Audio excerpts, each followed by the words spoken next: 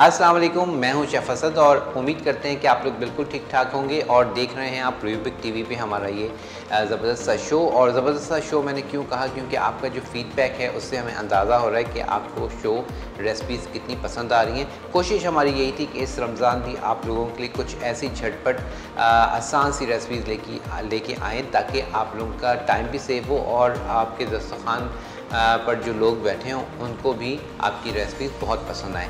तो इसी तरह की डिफरेंट छोटी छोटी रेसिपीज़ हम आपके साथ शेयर करते रहेंगे। आज की जो हमारी रेसिपी है, वो भी एक बहुत ही मज़ेदार चाट है।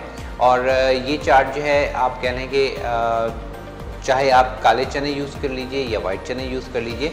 और आज हम बना रहे हैं, काले चनों में हम बनाएँगे पानी वाली चाट। तो पानी वाली चाट के लिए आप सबसे पहले इंग्रेडिएंट्स देखिए और मैं चलता हूँ काउंटर की जाने। इंग्रेडिएंट्स आपने देख लिए हैं और बहुत ही सिंपल से इंग्रेडिएंट्स हैं। अब हमने करना क्या है कि यहाँ पर जनाब पानी वाली चना चाट के लिए हमने जो है यहाँ पर ले ली हैं चने, काले चने हम ले लेंगे, ठीक है?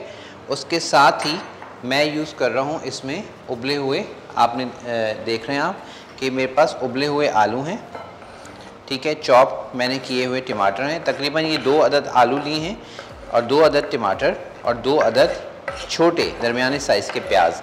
अगर बड़ा साइज़ का लाइक प्याज है आपको तो आप फिर इसमें तकरीबन प्याज जो है वो आप एक अदर यूज़ कीजिएगा। ठीक है? ये हमने तमाम चीज़ों को मिक्स किया। उसके बाद अब यहाँ पर मैंने लिया हुआ है इमली का गूदा। ठीक है? इमली का गूदा लिया है हमने तकरीबन चार खाने के चम्मच। अब इस इमली के गूदे में हमने शामिल करना है पानी। ठीक है? और पानी शामिल करने से पहले इसमें मैं स्पाइसेस डालूँगा, जिसमें मैं शामिल कर रहा हूँ। यहाँ पर मेरे पास मौजूद है चाट मसाला, ठीक है जी? एक से डेढ़ खाने का चम्मच चाट मसाला, उसके साथ एक चाय की चम्मच खटाई पाउडर, उसके साथ ही अब हम यूज़ करेंगे इसमें नमक। नमक के साथ ही कुटी हुई लाल मिर्च। और कुटी हुई लाल मिर्च तकरीबन एक चाय की चम्मच के करीब आप डालिएगा और उसके साथ ही फाइनली हम इसमें डालेंगे आधी चाय की चम्मच ज़ीरा। साबुत ज़ीरा आधी चाय की चम्मच डाल के। बस अब आपने क्या करना है? इसको आपने अच्छे से मिक्स करना है। ठीक है? पानी के साथ। और पानी तकरीबन आप इसमें डाल देंगे दो कप के करीब। ठीक है जी? ये हमने दो कप के करीब इसमें पानी शामिल कर दिया। और अब ये पानी जो है, हम डाल देंगे अपने चना चाट। ये देखिए आप अच्छे से मिक्स किया। पानी वाली चना चाट हमारे पास तैयार है।